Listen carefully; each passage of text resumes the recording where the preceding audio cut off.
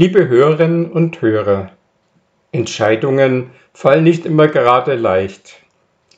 Wen soll ich wählen? Am 20. Oktober, da wählen viele evangelische Christen Kirchenvorstände, Menschen, die in ihrer Gemeinde Verantwortung übernehmen. Wen soll ich wählen? Darum geht es auch in einem kurzen Abschnitt aus dem Buch Josua im 24. Kapitel. Josua stellt das Volk Israel vor eine Entscheidung. Er sagt, Fürchtet den Herrn und dient ihm treulich und rechtschaffen und lasst fahren die Götter, denen eure Väter gedient haben, jenseits des Stroms und in Ägypten, und dient dem Herrn. Gefällt es euch aber nicht, dem Herrn zu dienen, so wählt euch heute, wem ihr dienen wollt den, die Göttern, denen eure Väter gedient haben, jenseits des Stroms, oder den Göttern der Amoriter, in deren Land ihr wohnt. Ich aber und mein Haus wollen dem Herrn dienen. Da antwortete das Volk und sprach, das sei ferne von uns, dass wir den Herrn verlassen und anderen Göttern dienen. Liebe Hörerinnen und Hörer, liebe Gemeinde, wir haben die Wahl. Auch in Bühl, einer kleinen Gemeinde im Ries, wird ein Kirchenverstand gewählt. Ich freue mich immer, wenn es eine echte Wahl ist, wenn also viele Menschen kandidieren und man wirklich auswählen kann. Auch Josua stellt das Volk vor eine Wahl. Es soll Gott dienen. Aber es gibt ja eben nicht nur Gott, den Herrn, seinen Gott, unseren Gott. Er spricht von Alternativen. Er sagt, Gefällt es euch aber nicht, dem Herrn zu dienen, so wählt euch heute, wem ihr dienen wollt. Den Göttern, denen eure Väter gedient haben, jenseits des Stroms, oder den Göttern der Amoriter, in deren Land ihr wohnt. Was sind das für Alternativen, fragen wir uns vielleicht heute. Wer betet schon Götter und Göttingen von damals an? Wer betet ein Baal oder eine Isis an? Heute finden wir andere Menschen in unserem Land mit anderen Religionen. Dies sind zum Beispiel Muslime oder Hindus oder Buddhisten. Und andere zweifeln, gibt es denn überhaupt einen Gott? Wie wichtig ist eine solche Entscheidung für uns heute? Josua geht es nicht darum, dass wir informiert sind. Das ist auch wichtig. Es schadet nicht, zu kennen, was andere Religionen sagen über Gott, welchen Glauben andere haben. Aber Josua fragt nicht, kennt ihr Gott, sondern welchen Gott wählt ihr? Welchen wollt ihr als euren Gott anerkennen und ihn verehren? Vielleicht denken manche, die jetzt zuhören, die Entscheidung ist doch gefallen. Meine Eltern haben mich taufen lassen. Ich bin zum Beispiel konfirmiert und auch bei der Kirche geblieben als Mitglied. Andere sind nicht in einer Kirche an diesem Sonntag, gehen nicht wählen. Und vielleicht meinen sie sogar, so eine Frage, die geht mich nichts an. Gott interessiert mich nicht, vielleicht glaube ich gar nicht an ihn. Wirklich oder auch wirklich nicht? Gibt es vielleicht für uns heute gar keine Wahl, keine Wahl Gottes? Und für andere ist das da gar kein Thema? Ich meine, in unserer Zeit reicht es nicht zu schauen, wo steht sozusagen das Etikett Gott drauf. Wenn ich nach Martin Luther gehe, dann ist Gott auch dort drin, wo er gar nicht draufsteht.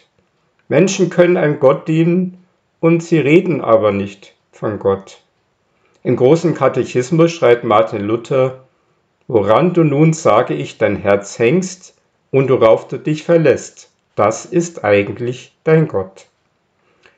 Woran hängt mein Herz? Worauf verlasse ich mich? Auf wen verlasse ich mich? Diese Frage kennen wir aus unseren menschlichen Beziehungen. Viele entscheiden sich für einen Menschen. Ich will mit dir leben. Ich will dich heiraten.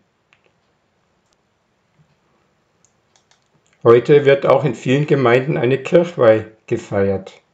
Vielleicht sind wir in einer Kirche getraut worden und denken gerade heute wieder daran.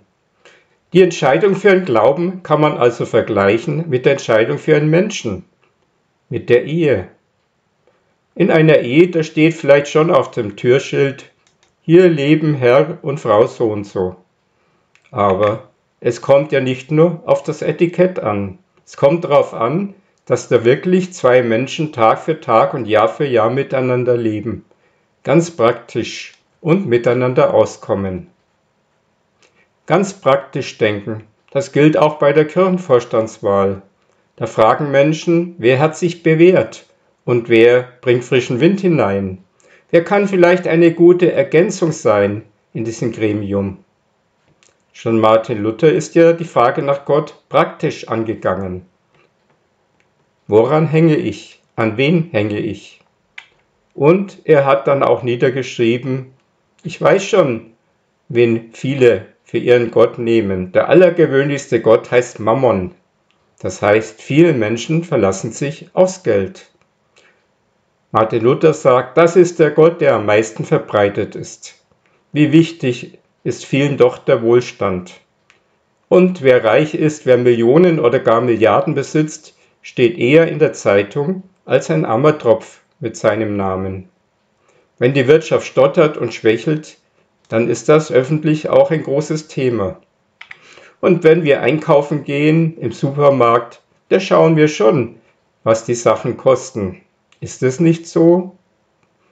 Wir wollen ja, dass das Geld reicht. In vielen Fällen geht es auch darum, wie viel übrig bleibt. Das Geld, es stimmt schon, das Geld ist ein massenhafter Gott in unserer Welt. Und lange habe ich gedacht, das Geld steht auf Platz 1 bei den Göttern, die zwar nicht Götter heißen, nicht so genannt werden, aber praktische Götter sind für die Menschen. Im Lauf des Lebens habe ich erfahren, manchen ist die Macht noch wichtiger als Geld. Manche Menschen sammeln Macht an wie andere Geld. Viele sammeln auch beides. Denn wenn ich reich bin, dann kann ich Einfluss haben. Und wenn ich Einfluss habe, komme ich vielleicht auch leichter zu Geld. Die Macht kann verschiedene Gesichter haben. Sie ist brutal, wenn sie mit Panzern und Raketen kommt, wenn sie droht und erpresst. Sie kann aber auch ein sanfteres Gesicht zeigen. Sie kann locken und werben, Anerkennung suchen. Und vielleicht bringt sie sogar Argumente und überzeugt andere und verbündet sich mit anderen. Josua will sein Volk sicher nicht mit Gewalt bedrohen. Er geht den guten Weg. Er will sein Volk überzeugen mit Argumenten. Was spricht denn eigentlich für unseren Gott? Ein Argument von Josua ist seine eigene Entscheidung. Ich aber und mein Haus wollen dem Herrn dienen. Meine Hausgemeinschaft und ich, wir haben uns für Gott entschieden. Er steht also persönlich gerade. Und wir brauchen das. Wir brauchen Menschen, die gerade stehen, die sagen, ja, ich bin ein Christ, eine Christin. Ja, ich stehe auch gerade, zum Beispiel im Kirchenverstand. Ich übernehme Verantwortung. Oder ich übernehme eine kleine Tätigkeit, die meiner Kirchengemeinde hilft oder im Gespräch mit Menschen, irgendwo draußen auch im Alltag, da lasse ich es auch merken, welche Einstellung, welchen Glauben ich habe. Das ist aber nicht das einzige Argument. Josua hat vorher noch etwas anderes erzählt. Ihr habt doch einen langen Weg hinter euch. Denkt daran, früher, ihr Israeliten, früher, da wart ihr in Ägypten, unterdrückt, einen langen Weg seid ihr gegangen, bis hierher, bis zum Land, das Gott euch versprochen hat, zum gelobten Land. So weit hat euch Gott geführt, so weit ist er mitgegangen, den ganzen langen Weg in die Freiheit. So weit war er dabei und hat euch geholfen.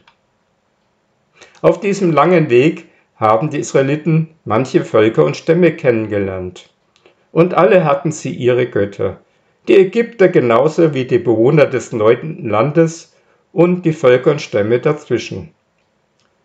Damals war es ja so, verschiedene Völker und Stämme hatten ihre verschiedenen Göttinnen und Götter. Eigentlich war es üblich, die Religion des jeweiligen Landes anzunehmen. Also hätten die Israeliten auf ihrem langen Weg sich auch immer wieder einem anderen Glauben anschließen sollen. Aus der Bibel und aus Ausgrabungen wissen wir, auch die Israeliten waren nicht immun gegen die Einflüsse ihrer Umwelt, waren auch nicht immun gegen die anderen Religionen. Aber Josua schärft ihnen ein, denkt doch dran, wer hat euch denn begleitet? Wer ist denn weitergegangen? Die anderen Göttinnen und Götter, wenn sie überhaupt gibt, die sind doch bei ihren Völkern geblieben. Begleitet hat euch nur unser Gott, der eine Gott. Sie kennen vielleicht auch ein Lied, das diesen Gedanken aufgreift. Ich denke an das Lied Bis hierher hat mich Gott gebracht durch seine große Güte, bis hierher hat er Tag und Nacht bewahrt, Herz und Gemüte. Bis hierher hat er mich geleit, bis hierher hat er mich erfreut, bis hierher mir geholfen. Jetzt bin ich im Ruhestand. Dankbar denke ich zurück an manche Menschen und Orte, wo ich war, wo ich zu tun hatte, wo ich merkte, da ist manches gut geworden und gut gewesen.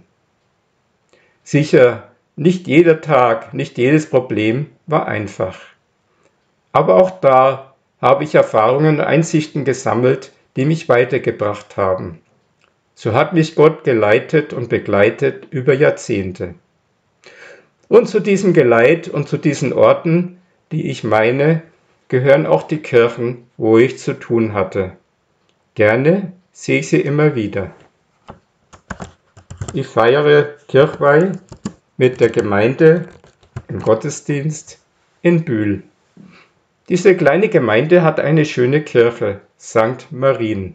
Eine Kirche mit vielen kunstvollen Fresken, also Wandbildern.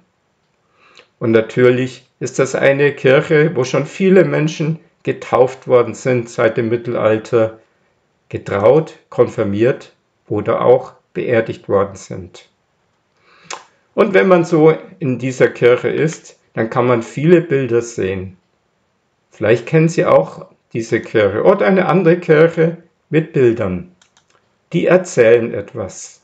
Jede Kirche erzählt auch etwas über den Glauben erzählt etwas darüber, wie Gott mitgeht.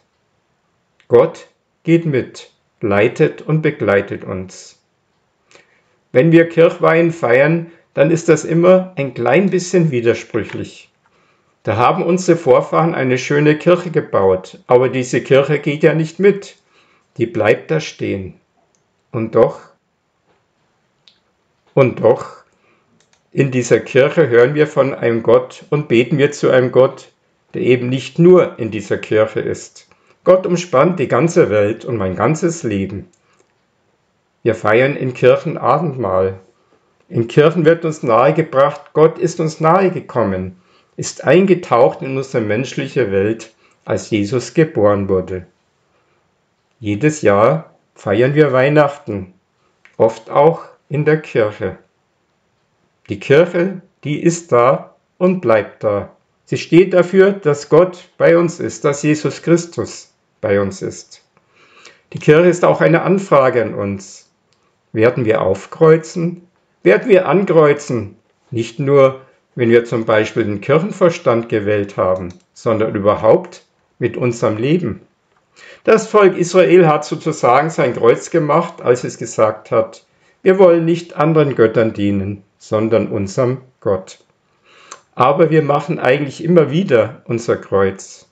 Täglich beschäftigen wir uns mit dem Glauben oder eben nicht. Immer wieder falten wir die Hände oder vielleicht auch nicht. Als Christen kommen wir zusammen, tauschen uns aus. Dann sehen andere etwas von unserem Glauben. Dass etwas zu sehen ist in unserem Leben, von der Liebe zu Gott, der Liebe zum Nächsten das wäre schön. Das wäre eine praktische Entscheidung für Gott. Und diese Entscheidung hat Folgen. Eine Folge kann noch sein, dass wir unsere Kirche gern haben. Die Kirche, die heute Kirchweih hat, aber auch die Kirche als die Menschen, die mit uns Christen und Christinnen sind. Amen. Und der Friede Gottes, der höher ist als alle Vernunft, bewahre unsere Herzen und Sinne in Christus Jesus. Amen.